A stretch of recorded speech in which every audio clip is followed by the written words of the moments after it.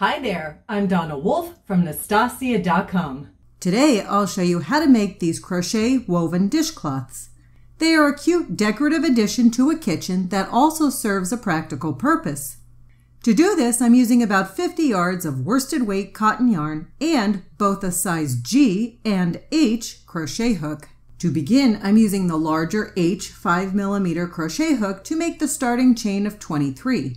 This helps keep the starting edge a little stretchy for when we put the pieces together. After the 23 chains, I move over to the smaller G 4mm crochet hook, which I'll use for the remainder of this green section. I'll skip the first chain and make one single crochet in each chain across. Throughout this pattern, we'll be using the back loops only, so use the back loops of the starting chain as well. You can see what my row 1 looks like thus far. It's basically a row of 22 single crochet stitches. Going forward for rows 2, 3, 4, 5, and 6, we'll do this. We'll chain 1 and then turn our work. And using the back loops only throughout, we'll make one single crochet in each stitch across. It's important to use the back loops so you get that textured look in the end for each of the sections you can see how I'm moving on to row 3. I chain 1, turn my work, then make 22 single crochet stitches on this row as well, using the back loops only throughout. What I'm working on is the green section of the dishcloth, as you can see.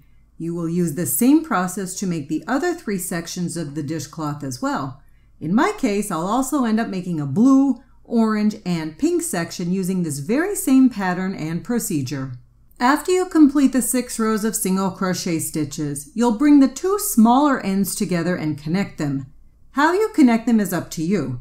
You will not see this seam line in the final dishcloth, so it doesn't need to be connected perfectly. You can sew the two edges together if you wish. I'm just going to slip stitch the two edges together since I already have the green yarn on my hook and slip stitches connect things together nicely. I've made my second dishcloth section, which is blue. To connect it, I'm going to wrap it around my green section. So I push one end of the blue piece through the center of the green section. Then I find the two short ends of the blue piece and we'll connect them at this time. As before, this seam won't be visible in the final dishcloth, so you can either slip stitch or sew it with a yarn needle. As always, you'll want to properly fasten off the yarn and weave in the ends along the underside of the work so it stays secure yet you can't see anything. You can see the different angles of the dishcloth thus far and how the green section and blue section connect together at this time. We're going to introduce the next section of the dishcloth, which is pink, and we place it over the blue section. So one part of the pink piece will go through part of the blue section. This pink section will only touch the sides of the green section, but it won't interlock in any way with the green piece. We'll connect the two shorter ends of the pink section at this time. And finally, the orange section. We'll place the orange section over the front of the pink section. You can see the orange section over the pink section, just like we normally work with the pieces. However, this time we need to weave the orange section into the green section as well. We'll turn over our dishcloth to see the green section. And then the one part of our orange section will go through the green piece. And the top part of our orange section will go over the top part of the green piece. We'll find the two shorter ends of the orange section and connect them together. You can then push the orange piece a bit to hide the seam area.